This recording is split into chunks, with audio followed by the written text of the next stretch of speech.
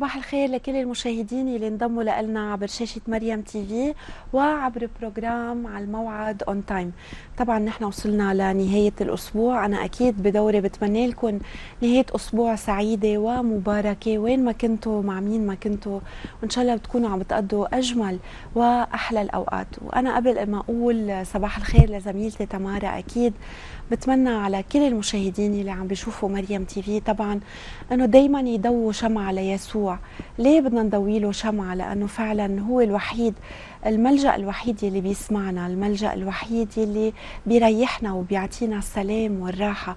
وفعلا نحن بهالظروف الصعبة اللي عم نعيشها طبعا كتير حلو إنه ننشر السلام كتير حلو إنه نصلي كتير حلو إنه نضوي شموع.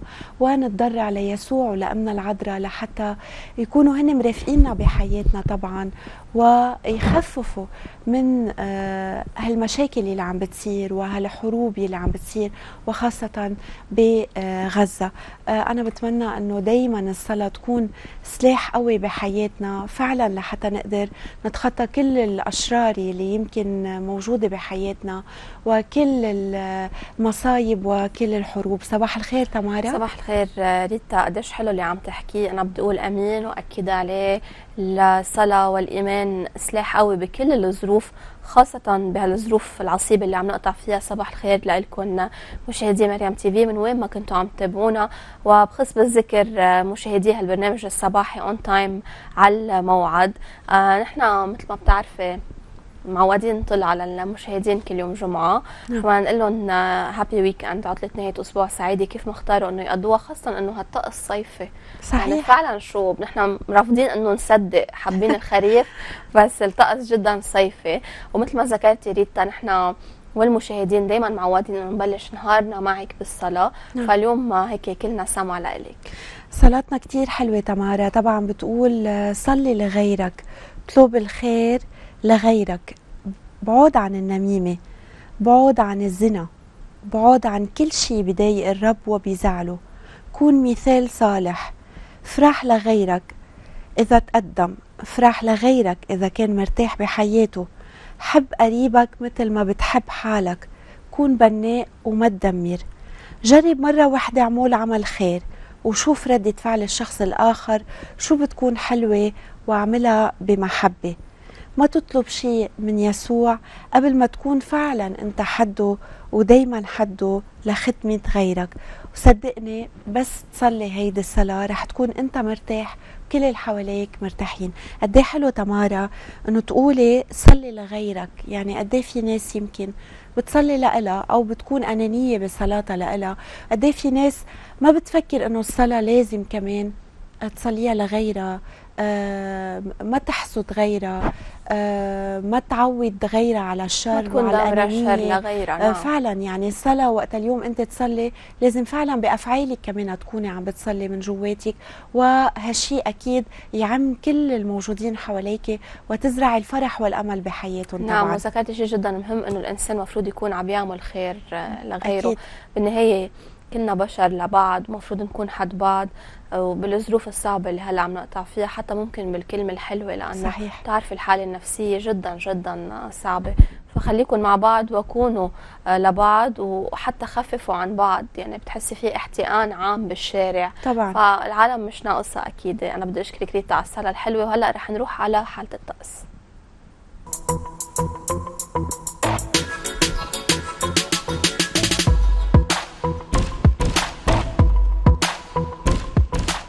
يعني ريتا مثل ما كنا عم نخبر طقس خريف دافئ ومستقر عم بيسيطر على لبنان وحتى الحوض الشرقي للبحر الأبيض المتوسط. عم نحس بموجة الحراره الحرارة على الساحل 29 30 درجة. بتحسي بأجواء صيفية على الرغم من إنه التوقيت صار شتوي صار نعم. بتعتم على الساعة 5 فكيف رح يكون طقسنا؟ طقس يوم الجمعة للشهر الجديد كمان نحن بنتمنى شهر تشرين الثاني يكون شهر مبارك, مبارك. ويحل فيه السلام نعم. يبطل فيه هيدي أخبار الحرب وأخبار جرائم القتل آه طقس غائم جزئيا ليوم الجمعة بسحب متوسطة مع انخفاض بدرجة الحرارة بس مع هيك بتضل آه فوق معدلات الموسمية لشهر تشرين الثاني وبيتشكل الضباب على المرتفعات مع تساقط أمطار بشكل متفرق خلال فترة النهار خاصة بالمناطق الشمالية. بنرجع بنقول عطلة نهاية أسبوع سعيدة للكل كيف ما اخترتوا أنكم تقضوها.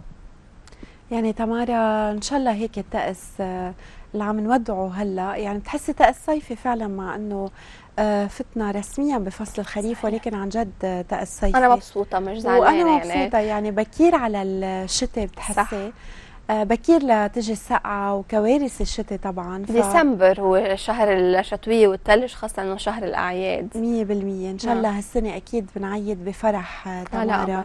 ويكون هالأعياد مباركة على الجميع. تمارا طبعا من بعد ما كنا مع حالة الطقس دائما معودين المشاهدين إنه نكون محضرين لهم باقه من الأخبار أنا وياكي. رح نروح معكم للمتفرقات.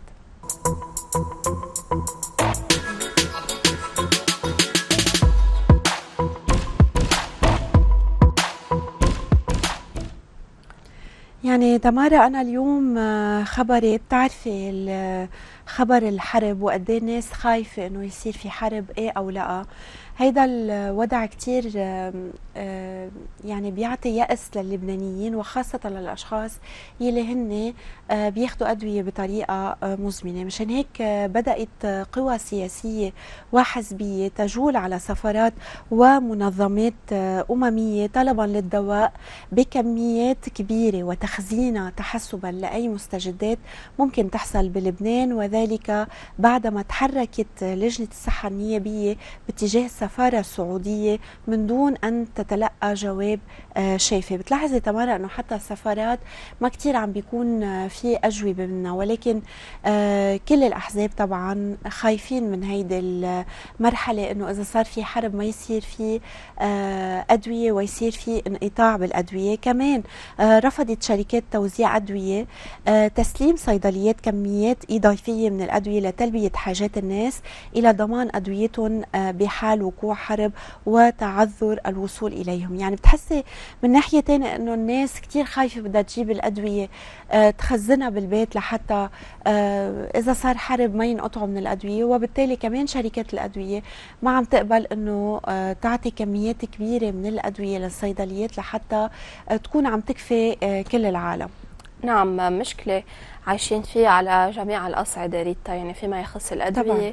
فيما يخص المواد الغذائية وهلأ معي خبر كمان فيما يخص الحجوزات بعدنا عم نحكي إنه ديسمبر شهر الأعياد نعم. وبشهر الأعياد بيجوا كل الأهل والأصدقاء من برا كل المغتربين اللبنانيين بحبوا يكونوا عم بيعيدوا في طقوس مقدسة آه أنه الميلاد يكون في جمعة عائلة. لهيك عبر أصح... نقيب أصحاب مكاتب السفر والسياحة آه جان عبود أنه من المبكر الحديث عن إلغاء حجوزات الأعياد. بس اعتبر أنه إذا فينا نقول النسبة السنة الماضية كانت أعلى بكتير بهذه الفترة من السنة وصلت لل 85 آه بالمية. آه، واعتبر إنه عامل الخوف الخوف من الحرب بيلعب دور. واللافت كمان هذه السنة ريتا إنه آه، ارتفعت حركة المغادرة من لبنان بنسبة 25% السنة الماضية كان في حجوزات بنسبة 85% هذه السنة في نسبة مغادرة ب 25% هذا أكيد بسبب الظروف الهلع اللي عم نعيش فيها اللبنانية. بس الأمر اللي إيجابي اللي لفت له إنه اللبناني مجرد ما يحس بالأمان وإنه الأمور رجعت مثل ما كانت قبل دغري بيحرز وبيرجع آه، بيجي هذا الشيء هي الفلكسبيليتي اللي نحن عايشين نعم. فيها بسبب الظروف اللي قطعت علينا أكيد هذا شيء إيجابي. بنتمنى أكيد إنه ما يصير شيء لأنه شهر الأعياد الجميع بينطروا من مختلف الطوائف أنت طبعا. بتعرفي ريتا. طبعا. خاصة في ناس تمارا ما اجوا بالصيف قرروا إنه يجوا على عطلة كريسماس وراس السنة. فإن شاء الله من هلأ لوقتها أكيد تتحسن الأمور. ومثل ما قلتي تمارا كل العيال بتكون مجموعة بهالعيد المبارك الحلو يلي كل الطوائف بتنطروا فعلا. آه تمارا طبعا كمان بظل الظروف آه يلي عم بتصير بلبنان. آه تلقت آه رئيسة جمعية بيروت ماراثون ماي الخليل آه خلال الأيام والساعات الماضية عشرات الاتصالات والمواقف طبعا آه من شخصيات وقيادات رياضية بتنوه الإصرار على تنظيم آه، سباق يوم الأحد 12 تشرين الثاني الشهر المقبل إضافة إلى لجان بمجال تنظيم سباقات ماراثونية حول العالم آه تقوم بدعوة العدائين والعداءات للمشاركة افتراضيا. ومن أبرز هالشخصيات العداء التاريخية البريطانية طبعا ورئيس الاتحاد الدولي للصحافة الرياضية الإيطالي كمان وأيضا غيرهم وغيرهم مشان هيك كمان عملت إذا بدي كل الأشخاص اللي حواليها للسيدة مي خليل بنوجه لها تحية طبعا تمارا كلهم عم بيصروا إنه يصير الماراثون يوم الأحد 12 تشرين الثاني لحتى بتعرفي في عدائين جايين من برا تمارا كمان من دول أوروبية ودول أفريقية طبعا. مشان هيك مصرين إنه يعملوا الماراثون. إن شاء الله من هلأ لوقتها أكيد ما يصير شيء على لبنان وتكمل الأمور على طبيعتها. على أمل ريتا خبر الأخير اليوم لفقرة المتفرقات مرتبط بالفقرة الثانية فقرة الصحه نعم. قديش في أشخاص عندهم نمط غذائي نمط حياة سيء؟ قديش في أشخاص مجبورين بسبب ظروف العمر إنه يكونوا قاعدين ورا المكتب ما نعم. بيحركوا؟ أو حتى في كثير أشخاص بتسمعي ما عندنا وقت نعمل رياضه بدراسه بدراسة جديدة كشفت عنها نيويورك بوست آه وحكت عن معدل ممارسة الرياضة اللي بيلغي الأثار السلبية للجلوس بمعدل 22 دقيقة باليوم. يعني ريتا إذا كنت بتتبع نمط غذائي أو نمط حياة صعب أو سيء أو إذا شغلك بيتطلب إنك تقعدي كثير إذا بس حركت 22 دقيقة باليوم هي كافية إنه تلغي كل هالآثار السلبية لعيشتي فبندعي المشاهدين دائما إنه يكونوا بحركة نص ساعة مشي يوميا أكيد بيقدروا إنه يلاقوا لها وقت حفاظا على صحتهم صحتهم الجسدية والنفسية. حلو. تمارا قد إيه؟ حلوين هالأخبار ومش حلوين بذات الوقت لأن طبعا في أخبار للأسف تكون من الواقع ولكن ما فينا نغير فيها شيء. بس بضل عنا أمل إنه آه كل يوم بيومه بنعيش بلبنان بضل عنا أمل آه تاني نهار يكون أفضل من الأيام اللي عم نعيشها. وإن شاء الله قريبا تمارا هيك كل الأوضاع بتكون آه على ما يرام. مريحة أكيد. وعلى ما يرام أكيد بلبنان. يعني قديش مهم هذا الخبر ريتا والمشاهدين دائما دائما نحن نضل نحكي عن golden rules الرياضة والشرب المي. دائما فيكم تلاقوا 30 دقيقة بوقتكم قد ما كنتم مشغولين لأنه أهم شيء الصحة والرياضة فعلا بتنعكس على صحتكم النفسية وعلى صحتكم الجسدية. ريتا من بعد هالخبر وصلنا لنهاية وقفتنا الصباحية وقفة فقرة المتفرقات. ندعيكم إنه ما تروحوا لمحل تضلكم معنا على صفحة الفيسبوك وعلى أكيد تابعوا برامج مريم تي في. نحن محضرين ضيوف من كافة الاختصاصات. وقفة مع الإعلام وبنرجع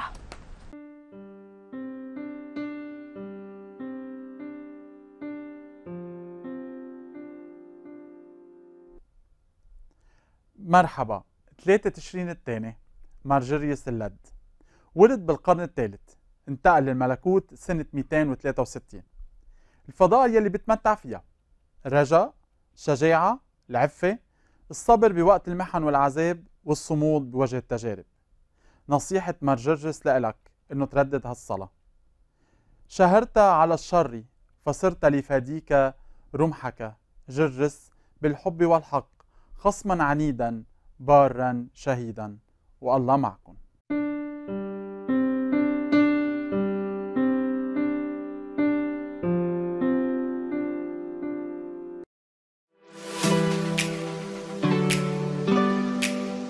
سامعين شي بدائرة النجاح الوظيفي؟